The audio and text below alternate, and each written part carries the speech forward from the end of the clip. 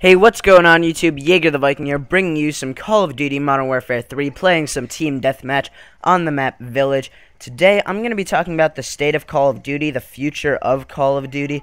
And I actually did this topic over on another channel for a competition.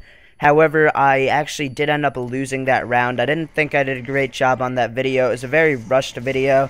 And, um, you know, I was told it wasn't too bad, but I really felt like I should do it over again, and uh, that's what I'm doing now. So, you know, there's a lot of talk, a lot of people, um, mainly on YouTube. You don't really hear it too much in, uh, in, you know, in just straight up Call of Duty lobbies. But a lot of people are talking about how they really want, uh, you know, a game to come take the lead over Call of Duty, become the new big first-person shooter. Not even first-person shooter, but, you know, online multiplayer shooter.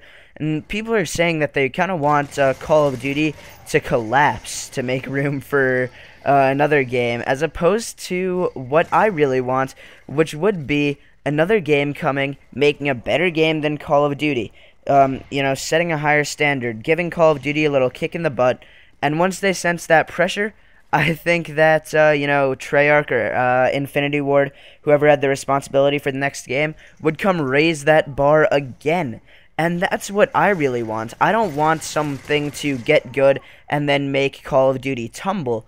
Because then we would just end up with that game in the same situation as Call of Duty is in right now.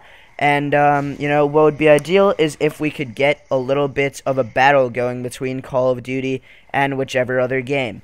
Now, when I say I wouldn't want Call of Duty to tumble because then another game would end up in the same situation, what really is happening is Call of Duty, because there's no pressure for them to make an incredible game, they can just keep doing what they're doing, and their game grows. Because as long as they're ahead, you know, number one, it's easier to grow when you're number one. You know, once you're up there, you're just going to keep growing and growing and growing. There's no doubt about that. So what needs to happen is another game needs to come, you know, catch up to them. Because at this point, it's really, uh, you know, say someone gets a new Xbox, then they start talking to their friends on Xbox. All their friends are playing Call of Duty. They're going to go out and buy Call of Duty. It's a snowball. Pretty much everybody who, you know, is old enough that, uh, or just interested in the first person shooters plays Call of Duty, you know, owns the newest Call of Duty game, or at least owns one Call of Duty game. And it just seems, you know, it just snowballs because everyone talks about it and then other people want to get it. So there's really no point that Call of Duty is going to collapse. Now, the game that people are talking about, the game that people would really like to see battling with Call of Duty, is, um, well, actually, no information has been released on it yet, but everyone knows it's coming. And that will be the game that Respawn Entertainment releases. And for those of you that don't know, Respawn Entertainment is the original guys of Infinity Ward, the founders, the, uh, you know, the co-founders, who, uh, you know, made the great Call of Duty 4, the legendary Call of Duty 4 that really launched the Call of Duty series. And, uh, you know, everyone's talking that they'll probably make a game possibly even better than the Call of Duty series. And um, I think that game will get a bit of attention, but they actually have not released any information on it.